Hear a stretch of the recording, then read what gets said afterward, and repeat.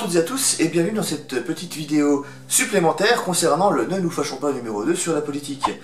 Voilà, donc euh, je vais appeler cette vidéo supplémentaire un addendum.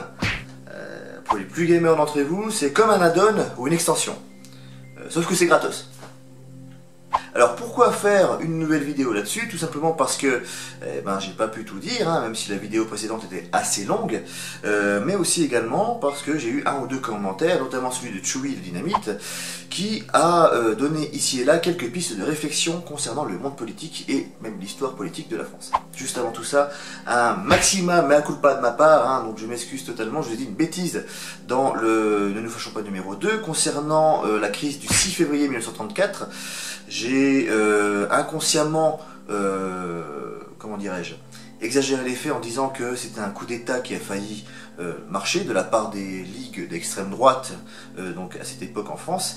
Et bien non, c'était pas un coup d'État, c'était une véritable émeute, mais le coup d'État, non, pas vraiment, parce que ça n'a pas fonctionné. Et effectivement, après m'être à nouveau renseigné sur le sujet, sur cet événement, il s'avère que finalement, les ligues fascistes de cette époque n'avait pas eu le pouvoir nécessaire, n'aurait pas eu le pouvoir nécessaire pour faire opérer un coup d'État. Voilà. Quelle est la signification de gauche-droite? Ça provient de la Révolution, il me semble. Donc tu seras heureux de nous en parler. Effectivement, je suis heureux de t'en parler, enfin de vous en parler. Oui, donc la notion de gauche et de droite date de la Révolution française, on pourrait même dire euh, du début de la Révolution au moment où euh, les révolutionnaires décident de mettre en place une monarchie constitutionnelle, donc en gardant le roi et en ayant une assemblée, qui s'inspire plus ou moins de euh, la monarchie qui existait à cette époque en Grande-Bretagne. Et à un moment donné, eh bien, les parlementaires donc de cette assemblée, hein, les membres de cette assemblée, vont se séparer en deux camps. Parce qu'on est en train de réfléchir à la façon dont la constitution va être mise en place. Et euh, à ce moment-là, il y a une question qui reste en suspens. Est-ce que le roi de France peut avoir un droit de veto C'est-à-dire que s'il y a une loi qui lui plaît pas, il a le droit de dire bah non, euh, pas, on la fait pas. Et du coup, on n'applique pas cette loi, on ne la crée pas. À ce moment-là, on a donc deux groupes qui se forment. Un qui se met à la gauche du président de l'Assemblée nationale et l'autre qui se met à la droite de ce président. Et du coup, ceux qui étaient à gauche étaient contre le droit de veto de la part du monarque, et ceux qui étaient à droite étaient pour ce droit de veto.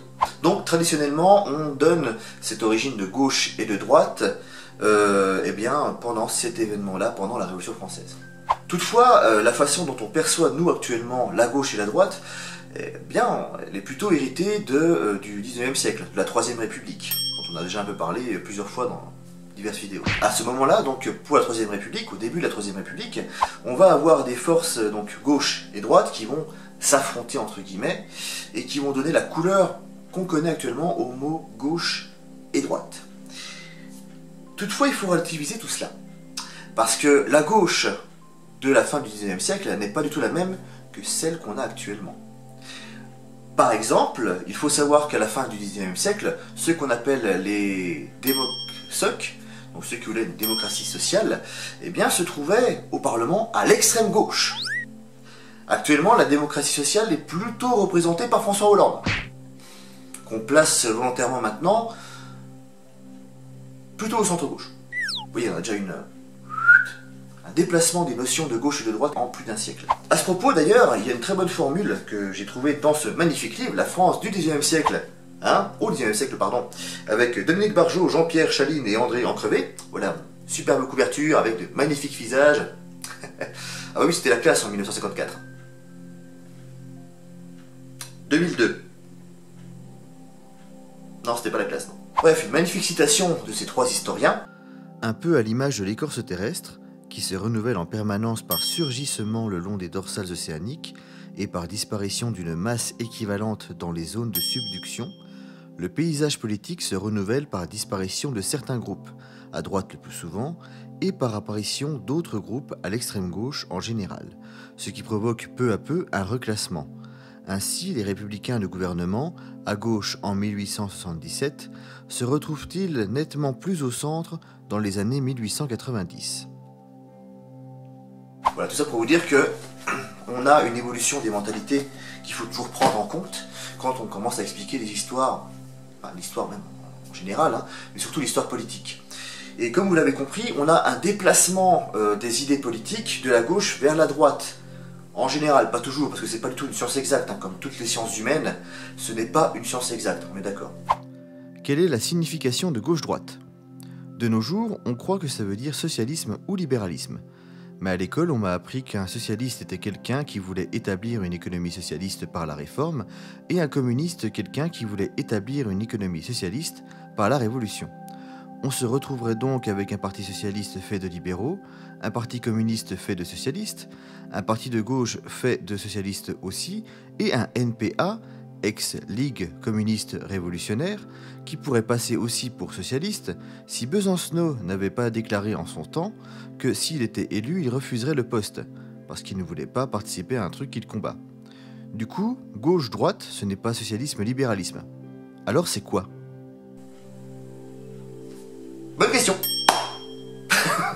Actuellement, je n'ai pas vraiment la moindre idée.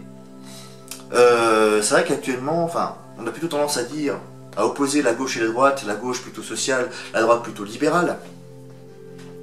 Mais en réalité, moi, la différence, je la vois plus, enfin, je ne la fais plus. Parce que depuis 30 ans, même 40 ans, on a plus ou moins les mêmes politiques qui s'appliquent, qu'on ait un gouvernement de droite ou un gouvernement de gauche. La droite et la gauche, pour moi, le système de droite et de gauche est terminé. Il n'a plus à être. D'ailleurs, j'ai jamais compris pourquoi il aurait dû exister.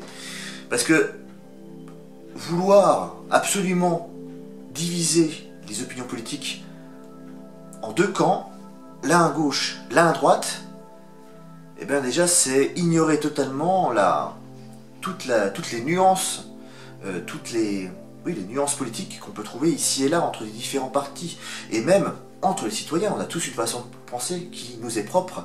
Et quelqu'un qui, par exemple, est adhérent au Parti Socialiste n'a pas la même vision du socialisme qu'un autre adhérent de ce même Parti Socialiste. Ou pareil hein, pour les, ex-UMP. Voilà. Donc euh, moi, personnellement, actuellement, je le répète, gauche-droite, pour moi c'est mort. Personnellement, je trouve même que le côté gauche-droite est dangereux. Parce qu'il favorise une certaine partition du peuple en deux camps.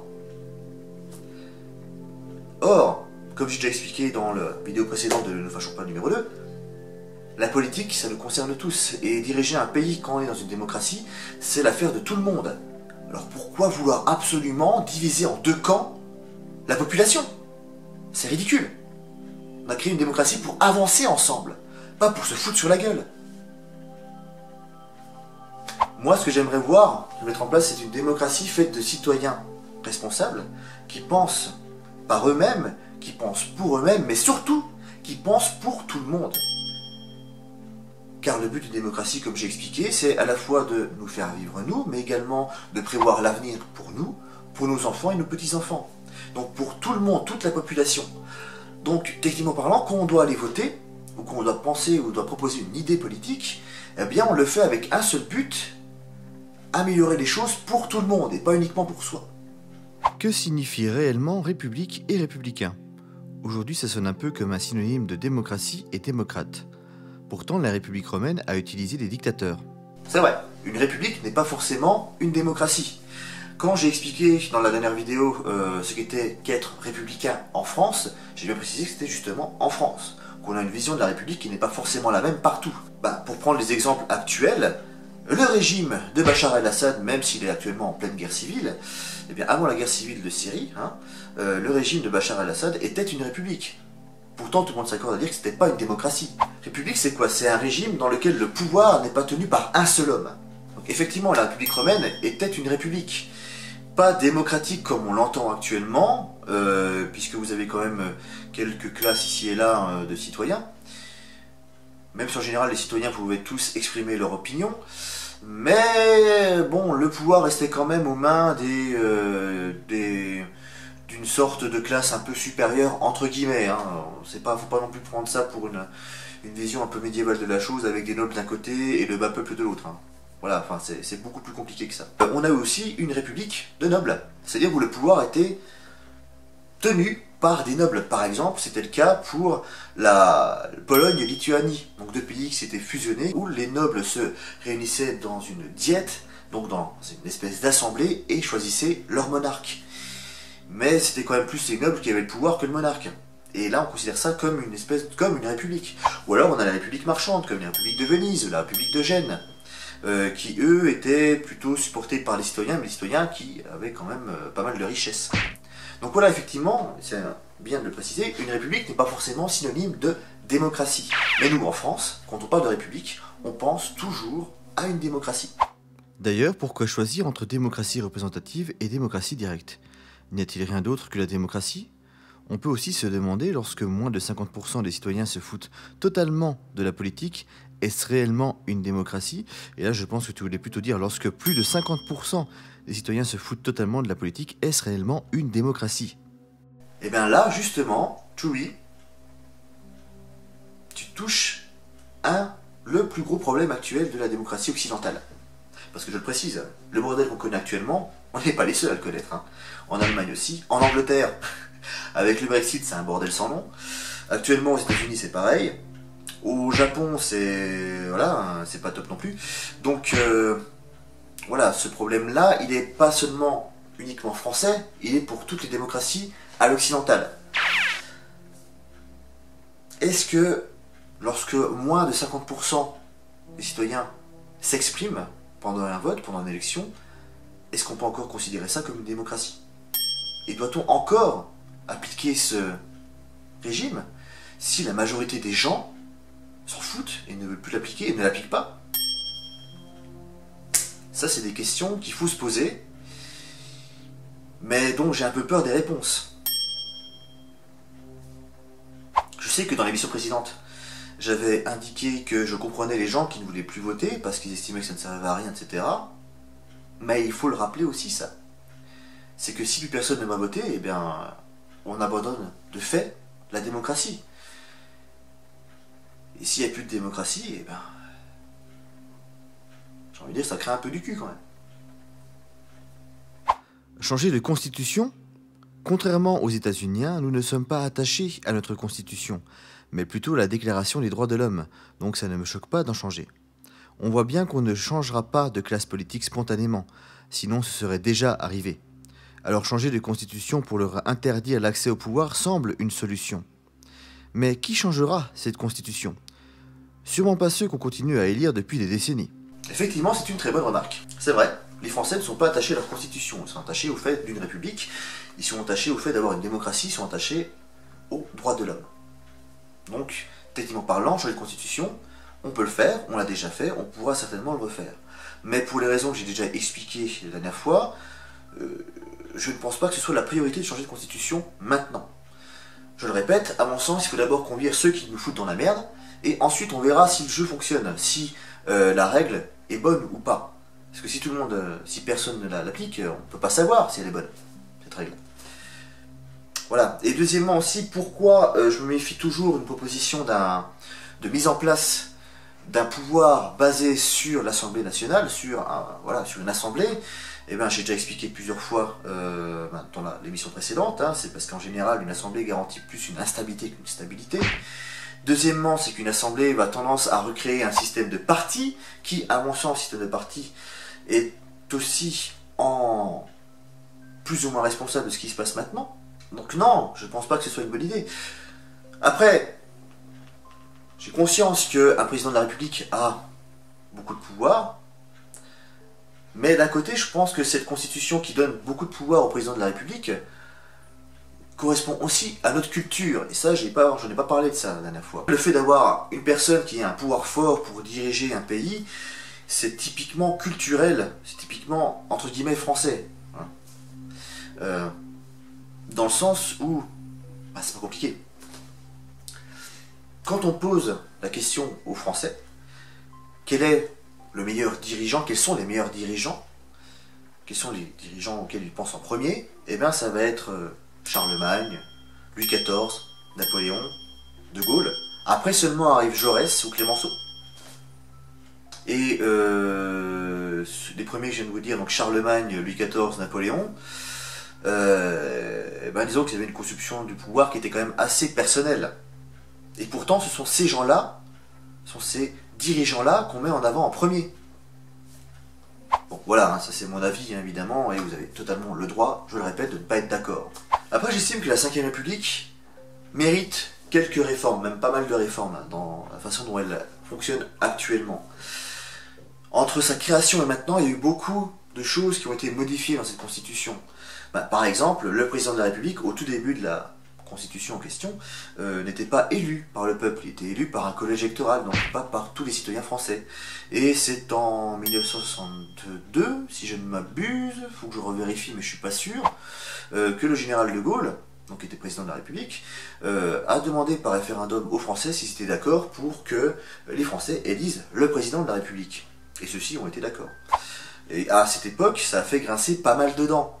Il y a beaucoup de personnes qui ne voulaient pas que le peuple choisisse lui-même son dirigeant. Euh, pourquoi? Ben Parce que beaucoup de ces personnes, souvent des parlementaires d'ailleurs, euh, avaient encore en souvenir Napoléon III. Je vous ai expliqué que Napoléon III est arrivé au pouvoir, a été élu en tant que président de la République, il a été élu par les Français, au suffrage universel masculin. Et euh, Napoléon III en a profité par la suite pour devenir empereur par le biais d'un référendum, enfin d'un plébiscite à l'époque, on appelait ça un plébiscite. Et du coup, le général de Gaulle, quand il a proposé ce changement de constitution, eh bien, beaucoup de parlementaires ont peur qu'on revienne à un système plus ou moins impérial. Bon, évidemment, c'est pas passé du tout comme ça. Dans les réformes qu'il faudrait faire, il y a par exemple le fait qu'un candidat, pour qu'il puisse être candidat à l'élection présidentielle, soit obligé de recueillir 500 signatures d'élus système n'est pas bon, je pense. Alors, je veux bien comprendre qu'on mette des limites pour la candidature à la présidentielle. Parce que s'il n'y avait pas de limite, la moitié des Français actuels seraient candidats à l'élection. Et donc, euh, pour lire tous les programmes, euh, bah, déjà, ce serait pas faisable. On en chie déjà avec 11 personnes actuellement qui sont officiellement candidates, alors que la moitié de la population française, euh, voilà. Mais euh, il y avait un système qui a été proposé, par François Hollande d'ailleurs, par, l'équipe de François Hollande, où ce seraient des citoyens qui parraineraient des candidats et au bout de tant de signatures, eh bien celui-ci est candidat, celui-ci est candidat, etc. Et comme c'était une promesse de campagne, eh bien elle n'a pas été tenue. Voilà, mais ça, ça aurait été très bien. Là, ça permettrait comme ça aux citoyens de reprendre un peu plus de pouvoir au sein du système politique tel qu'on l'a actuellement. Autre chose aussi également, enfin autre exemple hein, qui s'était passé, c'était pour l'avant-dernière élection régionale. Où, euh, par exemple, on avait un système un peu bizarre qui s'était mis en place. Alors les élections régionales de cette époque, euh, c'est toujours le cas maintenant de toute façon, c'est que vous allez voter pour une liste de personnes qui siégeront donc au conseil régional. Et une euh, modification avait été apportée à l'avant-dernière élection, stipulant que si au premier tour on avait une liste qui euh, passait à 50%, qui, obtenait la majorité absolue, eh ben, elle avait déjà droit à un quart des sièges, et ensuite à d'autres sièges en plus en fonction du score qu'elle aurait eu. Donc on favoriserait là encore un gros parti, comme c'est le cas ici. Pareil, revenons sur l'élection présidentielle, et pour compreniez à quel point euh, les partis ont modifié la Constitution pour eux. Je ne sais pas si vous le savez, mais euh, quand un candidat se présente, et eh bien déjà il y a des frais de campagne. Et en fonction du candidat, eh ben, on n'a pas le même euh, budget, hein, ça vous le savez. Hein. Et les gens ont une inégalité entre ces candidats à la base, parce qu'ils n'ont pas forcément le même budget, donc ils n'ont pas pas forcément la même visibilité. Après, avoir un gros budget ne signifie pas être élu. On est d'accord. Et par rapport à ces candidats, donc ils ont des frais, comme j'ai expliqué, et ils peuvent être remboursés par l'État par rapport à ces frais. Mais la condition sine qua non, eh bien, c'est qu'ils dépassent 5% des votes. Ce qui est complètement con. Parce qu'en général, le mec qui va faire le meilleur score aura quand même plus les potentiels de rembourser ses frais de campagne, plutôt que le gars qui va faire 3%. Et ça aussi, c'est un système qui verrouille la Constitution pour les grands partis. Et ça fait partie des réformes qu'il faudrait mettre en place. Enfin bref, la Constitution, il y a plein de choses à changer. Il y a, des choses à changer, je suis d'accord. Et notamment, j'aimerais, je le répète, qu'on ait l'équivalent du modèle suisse par rapport aux initiatives populaires, donc à une espèce de référendum qui est demandé par le peuple. Et ça, c'est par le biais de signature. Enfin bref, voilà, c'était la vidéo complémentaire à Ne nous fâchons pas numéro 2. Euh, j'espère qu'elle vous a plu, j'espère que ça alimente encore un peu le débat sur la présidentielle. Euh, sachez que, désolé pour les fans d'histoire, mais là pour l'instant je mets un petit peu de côté, euh, parce que la présidentielle arrive, et j'ai deux, j'ai encore trois petites émissions à vous proposer par rapport à ça, parce que je trouve ça hyper important, surtout cette année. donc du coup, les prochaines émissions vont s'intéresser encore aux élections, mais je vais essayer de vous proposer quelque chose d'un peu plus... d'un peu moins scolaire, on va dire. Allez, faites une bonne journée, une bonne soirée, une bonne nuit, hein, comme d'habitude, hein, ça dépend à quelle heure vous regardez ça. Et je vous dis à la prochaine. Ciao les gens